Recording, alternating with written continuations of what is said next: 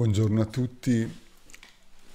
Abbiamo concluso la pericope precedente con la sepoltura dei patriarchi nella terra promessa, secondo la parola del Signore.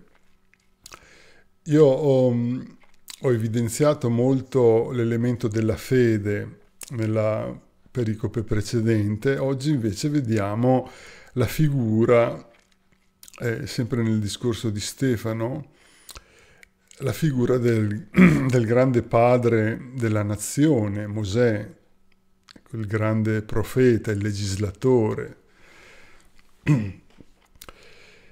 E, e il, il, il, testo di oggi inizia su, subito appunto ricordando la promessa fatta da Dio ad Abramo Leggiamo versetti 17 e 22. Quando poi giunse il tempo della promessa fatta da Dio ad Abramo, il popolo crebbe e si moltiplicò in Egitto, finché sorse, sorse in Egitto un altro re che non conosceva Giuseppe. Questi, agendo con inganno contro la nostra gente, maltrattò i nostri padri fino a far esporre i loro bambini perché non fossero lasciati in vita. In quel tempo nacque Mosè che fu gradito a Dio. Egli fu allevato per tre mesi nella casa paterna, poi, quando fu esposto, lo raccolse la figlia del faraone e lo allevò come figlio per sé. Così Mosè venne istruito in tutta la sapienza degli egiziani ed era potente in parole e nelle sue opere. Quindi giunge il tempo della promessa, vediamo al versetto 17, fatta da Dio ad Abramo. Sono 450 eh, anni da quando la promessa era stata pronunziata per bocca del Signore. E avviene, come ricordiamo nella storia sacra, che il, il popolo cresce di numero, eh, si sa che a quel tempo eh, non c'era la tecnologia, non c'erano gli armamenti di oggi, quindi la potenza di un popolo si, misura, si misurava eh, dal numero. Eh, e, e, quindi comincia questo popolo di schiavi a fare paura eh, al faraone, ecco perché eh, si era accresciuto molto di numero. Ecco. Eh, si pensava eh, nei totalitarismi, si aveva paura della possibilità di una sollevazione, ecco, soprattutto se eh, chi si sollevava era un popolo molto numeroso. E, però eh, appunto c'è la comparsa di questo nuovo faraone che non conosceva Giuseppe, è tutto quello che aveva fatto. Ecco, sappiamo che Giuseppe aveva, aveva, salvato tutto il paese durante la, la lunga carestia dalla morte per fame. Però questo re non, non lo conosceva, forse non ne aveva neanche saputo, saputo parlare, sentito parlare, scusate, ma eh, erano passati 400 anni e quindi eh, la vicenda di Giuseppe eh, rimaneva nella storia. E non era, in questo caso eh, sappiamo che questo faraone non era venuto a conoscenza che quel Giuseppe era proprio della stirpe di Israele. Quindi Stefano dice agendo con inganno eh, maltrattò i padri con i lavori forzati, come sappiamo, la costruzione dei mattoni, eh, ricordiamo gli episodi, e fare esporre i bambini, che, eh, perché il popolo non si moltiplicasse ancora di più, ecco, i bambini dovevano essere esposti, cioè dovevano essere uccisi. E, e sappiamo la storia di Mosè, che fu allevato per tre mesi nella casa paterna e poi, quando fu esposto, fu, fu lasciato in una, in una, cesta di vimini eh, nelle acque del Nilo e lo trovò la figlia del faraone lo allevò come suo figlio. E, e così Mosè eh, venne istruito in tutta la sapienza degli egiziani ed era potente in parole e opere, ci dice.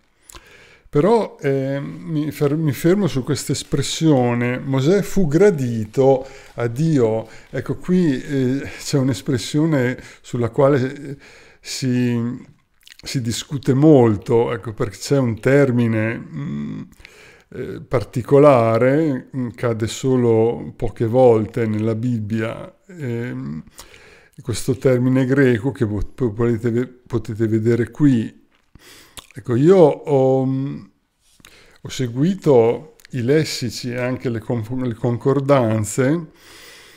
Ecco, è un termine che vuol dire tante cose, però eh, ho scartato quelli che non sono adatti riferiti a un bambino. E quindi ho, ho fatto una scelta, ecco, può vuol dire, può vuol dire bello, grazioso, buono e gradito. ho, tenuto questi, mm, questi termini. Bello però, ehm, bella d'aspetto, ad esempio, era Susanna. Eh, quindi mh, mm, riferito a Dio, eh, cioè Dio non, non eh, ehm, Dio non si compiace della, lo sappiamo dalla Bibbia, che non si compiace della, della bellezza. Tanti testi abbiamo ecco, che ehm, ci fanno capire questo. E la cosa più, ehm, più probabile è che fosse gradito. Forse si potrebbe tradurre anche buono, come traducono molti. Ecco, comunque eh, sappiamo che Dio... Eh, ad esempio nel Salmo 139, quando dice mm, il salmista tu mi, scruci, tu mi scruti e mi conosci, poi ehm, ancora informe mi hanno visto i tuoi occhi, eh, sarebbe così la traduzione, eh, i tuoi occhi hanno visto il mio embrione, ecco, Dio è onnisciente, ecco, si vede che anche se era un bambino piccolino, Dio lo conosceva, conosceva quello che sarebbe diventato. E, ehm, e, quindi io ho tradotto gradito, mi sembrava la traduzione più, più adatta. Ma eh, quello che ci interessa è che si compie appunto, mm, eh, si compiono gli anni delle promesse e, e, e Mosè aveva 40 anni e, e sappiamo che fu istruito eh, in tutta la sapienza degli egiziani, quindi era un uomo molto colto, si era istruito alla reggia probabilmente più fornita ecco, che c'era in, que- in, quel periodo, la reggia del faraone. E, e questo eh, ci, ci, fa anche capire, ecco, probabilmente aveva assorbito anche usi, costumi sbagliati, eh, dagli egiziani, però indubbiamente eh, ci dice che era istruito, raccolto, sapeva leggere, sapeva scrivere eh, e diventa appunto l'uomo giusto eh, anche per guidare un, eh, un, popolo grande come il suo e farlo uscire dall'Egitto. Ecco, eh, probabilmente Mosè conosceva anche eh, tutti... Mh, mm, eh, tutte le problematiche geopolitiche e anche governative, eh, perché stando alla reggia veniva a sapere tutte queste cose, quindi eh, aveva molti elementi per, eh, per, fare quello che poi farà. Ecco, e, e la provvidenza divina eh, procura appunto tutti questi passaggi, eh, il bimbo non muore, viene raccolto addirittura dalla figlia del faraone e ha una un'istruzione molto elevata, la più elevata che ci poteva essere in quei, in quei tempi. E, e, poi ci dice potente in parole e nelle sue opere. Questo è difficile comprenderlo, però probabilmente era un, un uomo che ecco, aveva 40 anni, ci dice Stefano, un uomo che era, probabilmente aveva anche una carriera, così ci dice la lettera agli ebrei, eh, che preferì l'obbrobrio di Cristo piuttosto che vivere alla reggia del, del faraone. Probabilmente era un uomo che prometteva anche per una carriera eh, di amministratore eh, del regno come è accaduto ad esempio per, per Daniele e i, suoi, i suoi compagni. E poi continuiamo a leggere 23-29, quando si compì per lui il tempo di 40 anni, compiuti 40 anni, salì in cuor suo il desiderio di far visita ai suoi fratelli, figli di Israele. E vedendone uno che, che subiva un torto, ne prese le difese e rese vendetta al fratello oppresso percuotendo l'egiziano. Egli pensava che i suoi fratelli avrebbero compreso che Dio dava loro salvezza per mano sua, ma essi non compresero. Il giorno dopo comparve tra loro mentre stavano litigando e cercava di riconciliarli dicendo Uomini, siete fratelli, perché vi fate torto a vicenda? Ma colui che faceva torto al vicino lo respinse dicendo chi ti ha costituito capo e giudice sopra di noi? Vuoi forse uccidermi come hai ucciso ieri l'Egiziano? A questa parola Mosè fuggì via e divenne straniero in terra di Madia, dove generò due figli. ecco, guardiamo qualche, diamo qualche spiegazione al testo nella nostra esegesi. C'è questa espressione che è tipicamente semitica, anche se è scritta in greco, salì in cuor suo di far visita ai suoi fratelli, così è la tradizione letterale. Io ho guardato nelle concordanze, e qui avete il greco, e può, eh, può indicare la la nostalgia, il desiderio di appartenere al proprio popolo. C'era questo desiderio dentro di lui di riscoprire le proprie radici, proprio, la propria appartenenza al popolo di Israele. Ecco, si può vedere la forma ebraica, vedete nell'ebraico Isaia 65-17. Comunque dalle concordanze questa un, con, questa formula ha un corrispondente ebraico e sono andato a vedere anche ehm, queste espressioni in ebraico e, e, e, indica appunto un desiderio profondo, ecco, quando un desiderio ti sale al cuore, dice l'ebraico. E,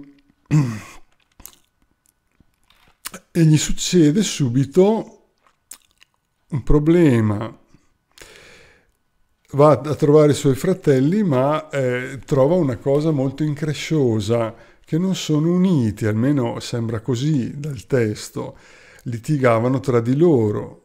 Questo succede soprattutto quando la popolazione non è, eh, non è compatta e non è istruita, era un popolo di schiavi. E, e Mosè, eh, pensando di fare bene, prende le difese eh, di questo suo fratello che stava subendo un torto e fa vendetta eh, al fratello ebreo percuotendo l'egiziano. Sappiamo poi che viene ucciso. E, Stefano qui interpreta, dice che Mosè pensava che i suoi fratelli avrebbero compreso che Dio dava loro salvezza per mano sua, siccome stava alla reggia, li avrebbe aiutati, ma essi non compresero. Ecco, qui si, eh, si delinea un po' questa mancanza di istruzione, di compattezza in quanto eh, popolo.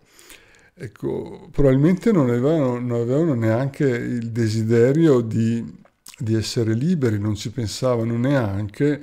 Eh, soggiogati talmente dalla schiavitù, dalla povertà e dall'ignoranza, era un popolo perduto. Ecco, da queste righe sembra, sembra così.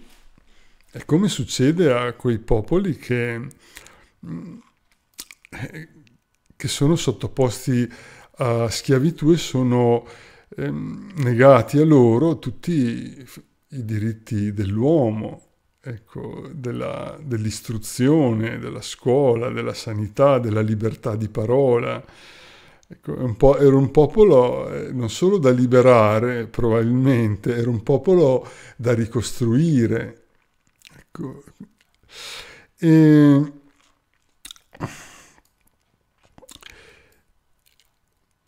il giorno dopo eh, ritorna a vedere il suo popolo e ne vede appunto, come abbiamo detto sopra, due che litigavano e tenta di conciliarli e, e si chiede il perché eh, si fanno torto a vicenda invece che eh, essere uniti e co- coalizzarsi per, per, una protesta. Ecco, eh, Mosè tocca con mano ecco, la situazione del suo popolo che era una, una, era una condizione di grande povertà eh, su tanti livelli, non solo la, la povertà materiale. E, e, poi a un certo punto questo, questo, che, questo ebreo, eh, suo fratello, che, questo fratello che eh, faceva torto all'altro fratello ebreo, eh, eh, risponde a Mosè e gli dice chi ti ha costituito capo e giudice sopra di noi, vuoi forse uccidermi come hai ucciso ieri l'egiziano? Ecco, eh, invece che raccogliere ecco, l'invito di Mosè alla pacificazione, all'unità, ecco, lo minaccia facendogli capire che sapeva benissimo dell'omicidio e quindi a, questo punto Mosè ehm, a quella parola fugge via, ecco perché rischiava la vita, aveva ucciso un egiziano e scappa, come sappiamo, nella terra di Madian e si mette a fare il, pastore per il suocero. Ietro sposa la figlia e diventa pastore. Guardate che cambiamento. Ehm, nella vita di Mosè, un cambiamento di vita. Da cortigiano della famiglia reale ora si guadagna la vita facendo il pastore. Era, era il, l'impiego, era, eh, era, il lavoro più, più, umile, quello del pastore. Eh, però forse anche questo per lui è stato è stato provvidenziale. Ecco, il fatto che Mosè prova, eh, vive una vita da cortigiano alla reggia, però eh, conosce anche la povertà, ecco, diventa un pastore, pure si riesce anche a sposarsi. Ecco. Trascorsi 40 anni, quindi sono 40 anni nella terra di Madia. E,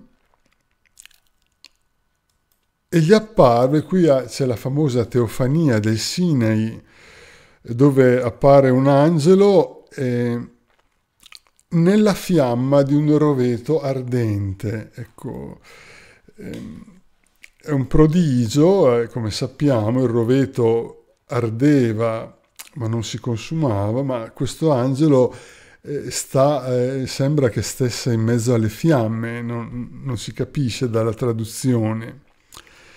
Non dice un roveto ardente di fiamme, dice nella fiamma di un, rove, di un roveto ardente. Ecco, quindi era una, una, teofania molto particolare che impressionava ecco, Mosè. E, e, quindi Mosè cerca di esaminare meglio, ma ehm, a un certo punto avviene con il solito verbo egeneto, quella forma verbale, eh, avvenire, io ho tradotto vi fu, ma sarebbe avvenne la voce del Signore. Eh, questa, come abbiamo detto altre volte, questa forma verbale eh, è usata tantissimo nei racconti della, della creazione. Sia la luce e avvenne, che si, potrebbe, si dovrebbe tradurre così in greco, ecco, ma noi non lo diciamo. E, Dio che mm, parla a, a Mosè e si presenta come il Dio dei patriarchi, Abramo, Isacco e Giacobbe. Vedete, dopo 40 anni mm, eh, Dio eh, prende spunto da questo desiderio che gli era salito nel cuore di rivedere i suoi fratelli, di andare a vedere come stava il suo popolo e, e questo desiderio Dio lo porta a compimento, ma all'ennesima potenza con una teofania e parlando faccia a faccia con Mosè. Questo desiderio viene completamente esaudito da Dio, anzi, in un modo eh, insper- insperato. Ecco. E queste parole non, però eh, Mosè non le capisce subito e, e prende paura e non osava guardare. E, e Dio gli dice di sciogliersi i calzari dai piedi perché il luogo era una terra santa. Tutti i luoghi dove sono avvenute delle teofanie sono terra santa. Noi la Palestina Israele la chiamiamo la terra santa. Perché? Perché ci ha camminato sopra il nostro Salvatore.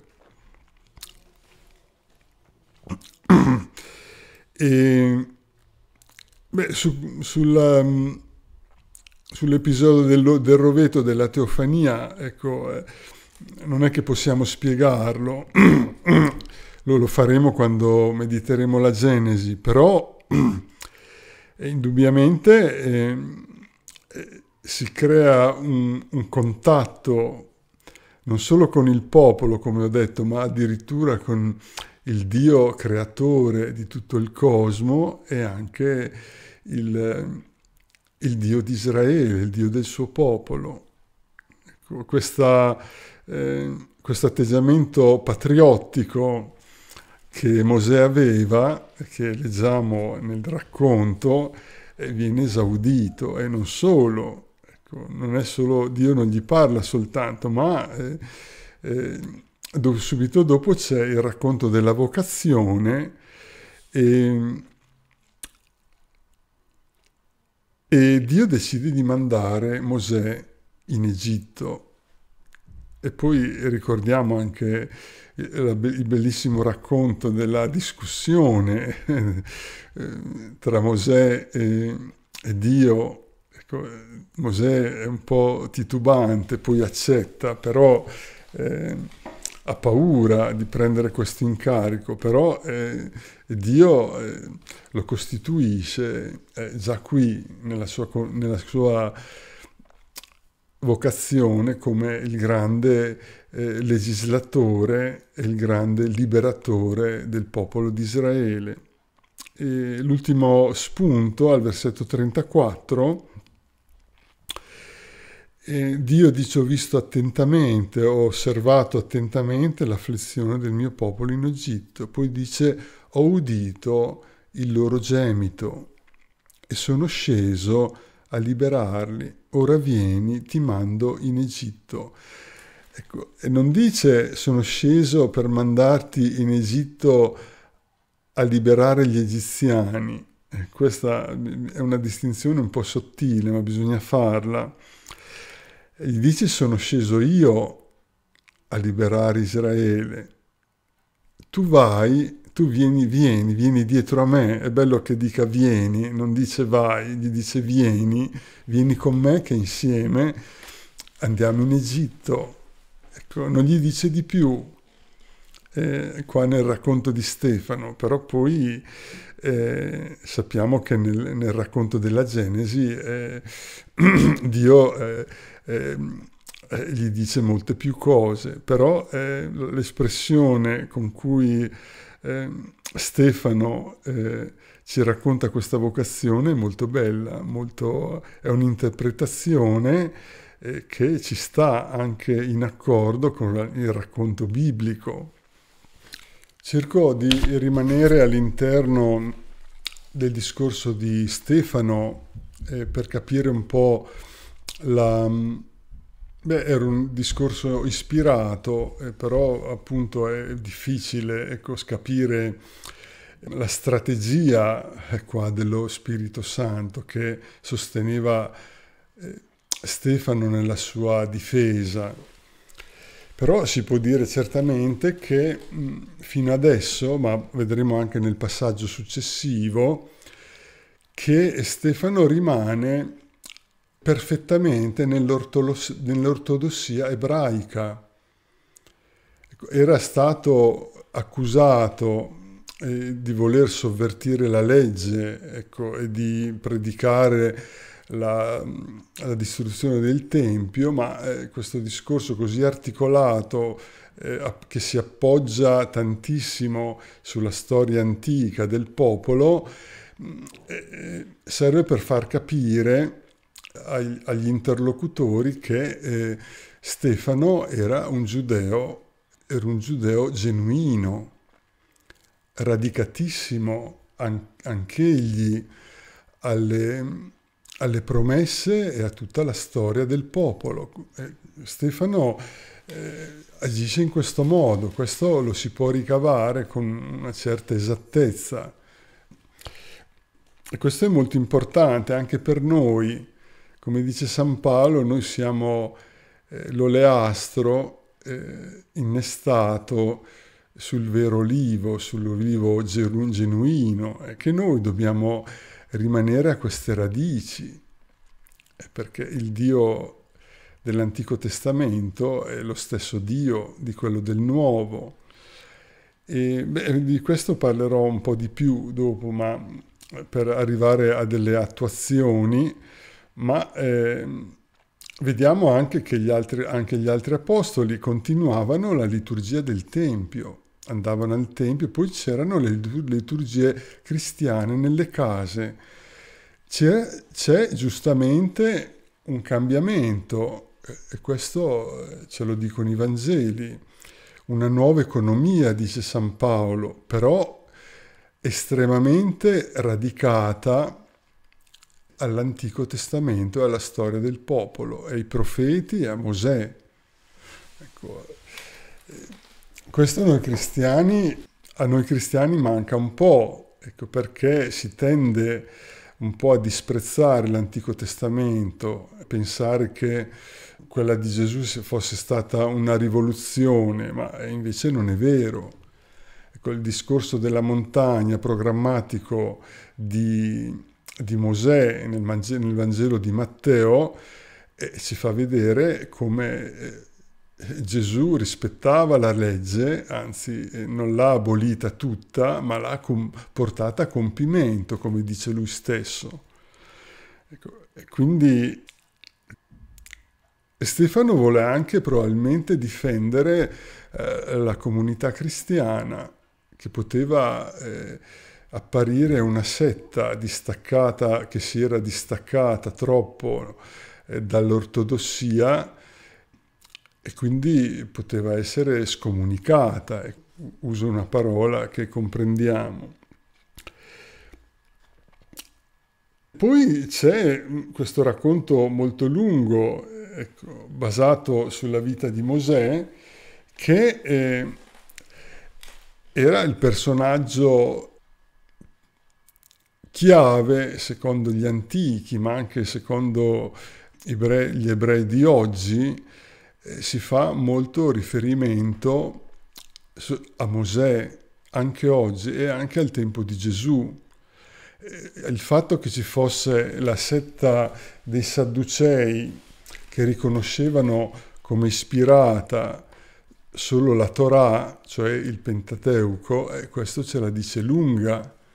Erano solo i farisei che, avevano, che consideravano ispirati anche i profeti e poi gli scribi, i dottori della legge, però anche solo la presenza dei sadducei, eh, così eh, fuori dall'ortodossia, si potrebbe dire, era una setta che era molto considerata e che era, era, eh, faceva parte del Sinedrio addirittura. Ecco, vedete quindi come la, la persona di Mosè era centrale per il giudaismo e Stefano dice praticamente, ricordando tutta la storia di Mosè dalla nascita fino alla, alla missione, che anche per lui Mosè è il grande legislatore ed il grande fondatore e liberatore del popolo di Dio. Ecco, questo, eh, mi sembra, questa mi sembra l'intenzione di Stefano.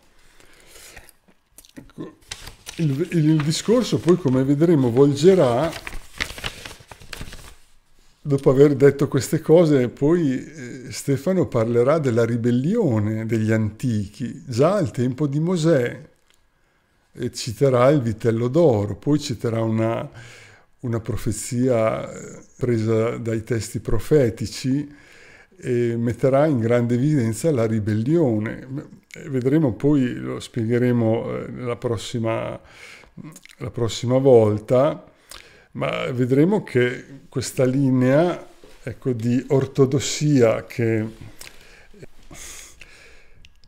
che Stefano intende mantenere completamente, sia per sé che per la comunità cristiana, poi si, si volge a, a, un, a, una sostituzione delle parti, ecco, che non è la comunità cristiana che non è ortodossa, ma eh, sono eh, certi certi giudei eh, che invece sono ribelli, come vedremo, allo Spirito Santo e lo sono sempre stati. Ecco, questa è, mi sembra un po' la linea che, che Stefano tiene per imbastire questo, questo discorso. E di fatto anche Gesù dice che i suoi contemporanei sono... Eh, che si qualificano come discepoli di Mosè, ecco, Gesù invece dimostra tutto il contrario, che sono, sono ribelli a Dio perché non mettono in pratica, ecco, incensano il personaggio defunto da secoli, il grande, il grande liberatore, però non mettono in pratica i dettami della, della legge di Mosè, della Torah. E questo di, Gesù lo, eh, lo, mette in evidenza, questa, mette in evidenza questa ribellione in tantissimi luoghi dei Vangeli. L'ultima cosa che volevo dire per attualizzare ecco, l'importanza della Torah e, del Testa- e dell'Antico Testamento come ho detto, è mutata l'alleanza, siamo in una nuova economia, ecco, ma certi principi della Torah, della legge di Mosè, rimangono.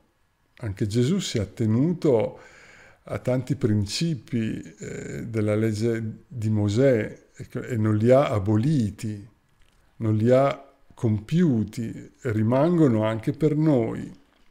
Certo, eh, mancando il Tempio vengono meno capitoli e capitoli eh, della Torah, tutti i rituali dei sacrifici, le norme, eccetera.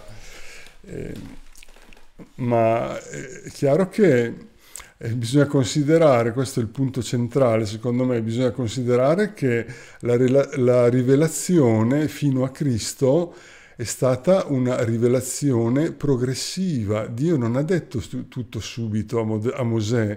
Ci sono tanti casi in cui i profeti eh, vanno avanti anche rispetto a Mosè, c'è una progressione nella rivelazione fino ad arrivare a Gesù dove c'è il compimento finale della rivelazione di Dio all'uomo, non solo a Israele.